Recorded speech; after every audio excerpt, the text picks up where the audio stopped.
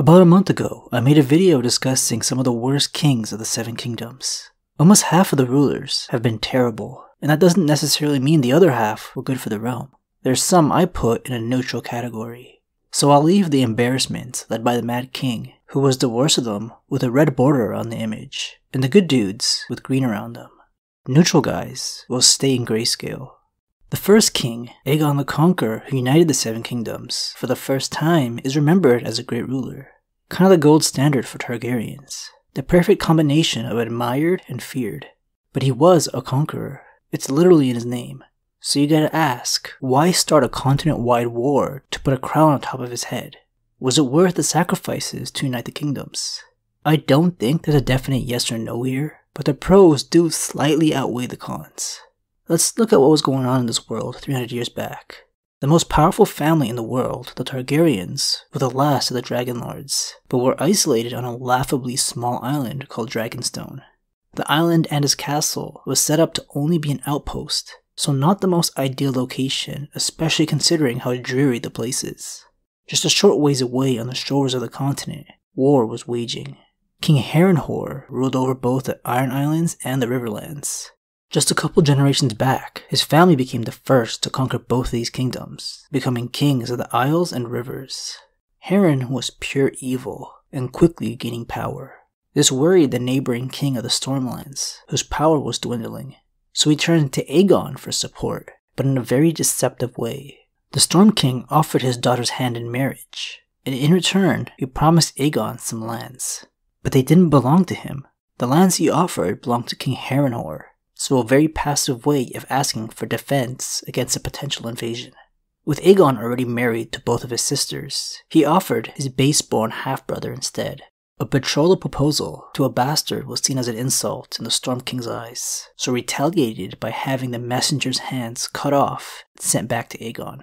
This act set Aegon off to his conquest. These other men were not worthy of holding the title of king in his eyes. Every previous monarch was either defeated or bent the knee in a matter of two years. All except Dorne. They were a lot more tricky to deal with and defiant. Aegon left with no choice other than to agree to peace terms with Dorne, focus on building a relationship with each of the other kingdom's people and rulers that he now controlled.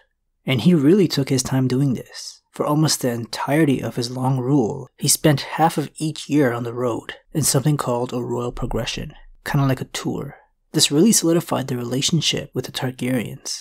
He was careful to not be a tyrant. You would expect a king's subjects to convert beliefs. Instead, the Targaryens adopted to the prominent religion here, the Faith of the Seven, abandoning the Valyrian gods. He was fine with letting his lords keep all their traditions and customs and strived for peace. The last 20 years of his reign is remembered as the Dragon's Peace. With the majority of the lords fearing the hell out of their dragons, fights between rival houses dropped pretty dramatically. Because of this, I think the good he brought slightly outweighs the lives lost in his conquest.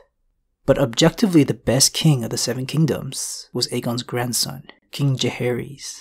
It really isn't a debate, especially after the Targaryens lore book, Fire and Blood came out a few years back, really drilling it into our heads how much he did during his insanely long reign so long that one of his nicknames became the Old King. But he was mostly referred to as the Conciliator for how well he handled troubling conflicts. His father and his uncle, the two kings before him, who almost ruined everything Aegon built, taught Jaehaerys everything he needed to know in order to avoid an uprising against Targaryens. His deceased father, King Aenys, was far too weak and indecisive, while his uncle Maegor far too cruel. Jaehaerys had to be forgiving towards their many enemies, but also stern. You needed to be feared just a little. At age 14, he was crowned king, and even then, he was wise enough to realize his flaws. He needed to appear stronger and more skilled to inspire loyalty, so worked his ass off in the training yards to become a better fighter. By the time he was of age to rule with a regent, Jaehaerys was a complete package, a perfect ruler. During his 55 year reign as king, he worked tirelessly to make the realm a flourishing economy and a more comfortable and peaceful place. Taxes he implemented didn't affect the less fortunate and wouldn't anger the rich that much. He formed a small council to help rule over areas he wasn't all that experienced with, connected the Seven Kingdoms with the King's Road, His strong sense of justice and swift action made this time period the most stable and prosperous for the realm. It would be a little while for the Seven Kingdoms to have another king sit on the Iron Throne that I consider to be good. 68 years, actually. Ironically enough, it would be a man known for his madness to bring true peace back. King Baelor, nicknamed the Blessed, was a religious zealot. He was as hardcore as it gets, but that doesn't always have to be a bad thing. Proven by our pal Baelor over here. He was crowned when he was 17, after his older brother Daeron died trying to finally conquer Dorne. Daeron, the young dragon, is seen as a great ruler by some and mad by others. I just see this character as a teenager eager for glory, so neutral. All he really did was reignite an old war, losing tens of thousands of lives with no success. As soon as Baelor was coronated, he made it a priority to restore peace with the Dornish. Both sides held hostages, and everyone expected the Dornish hostages to be killed in King's Landing after the young dragon was ambushed and killed. Instead, the pious Baelor let them all go and decided to walk to Dorne to free his cousin, who was being held captive over there. And when I say walk, that means going through the scorching desert barefoot, while the newly freed highborn hostages rode on horseback. On his painful journey, Baelor came across his cousin Aemon the Dragon Knight encaged. He was captured trying to defend King Daeron, but there was nothing he could do for his cousin without the key, so continued onward to speak with the Prince of Dorne and promised his cousin to return and free him. The gesture of walking across a continent to personally forgive his brother's killers left an impact on the Prince of Dorne. They arranged two marriages between House Martell and Targaryen that would finally bring Dorne under the realm, and without bloodshed. The people began to view Baelor as a miracle worker, while Baelor believed he had some deep connection and dialogue with the gods. Not only did he survive the barefoot trek, but when given the key to Aemon's cage to free him, it was now placed above a pit of vipers. The Prince of Dorne tried his best to ensure no harm would come to Baelor, but Aemon the Dragon Knight's captors had other plans. Baelor believed the gods would protect him and walked into the pit to free his cousin, and of course, he was bit over and over again. But he did manage to reach the cage and unlock it before passing out. It took months, but he did recover from the snake bites. He then began claiming to have visions. Baelor saw a great sept that would be built on top of Visenya's hill, a sept that he had seen in a vision. People would constantly question his decisions, but he would only listen to the High Septon. He would regularly empty King's Landing's treasury to help out the poor. He also attempted to provide tax exemptions for those who ensured the virtue of their daughter by actually using chastity belts. His strange decisions only got dangerous when he began burning books. It wasn't long before he was spending an alarming amount of time praying and fasting. After the High Septon, who influenced a lot of his decisions, died, he had another vision of who should replace him. And this is where his sanity really starts being questioned. He convinced people to elect a random guy who couldn't read or write or even recite a prayer. This guy, who became the new High Septon, quickly died of a fever. Baelor claimed to have seen an eight year old boy speaking with doves that answered back to him in the voices of the seven.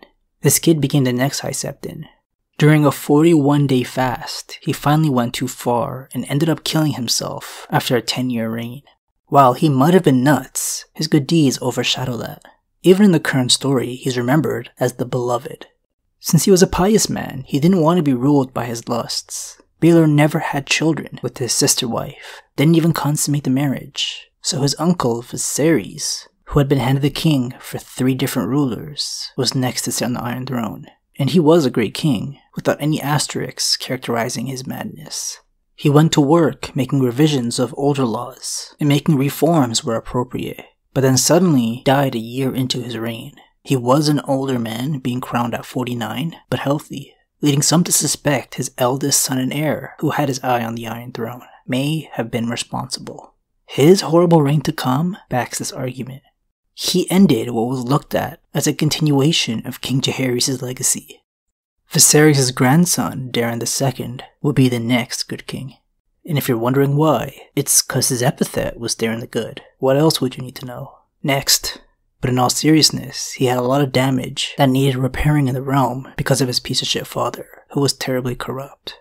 His father did everything he could to illegitimize his own son's claim to the Iron Throne out of spite, which sparked rebellions Daeron and the future kings had to deal with. And he did so efficiently. Daeron cut out the cancer brought to court, seeking to take advantage of the crown's treasury restoring stability back to the realm.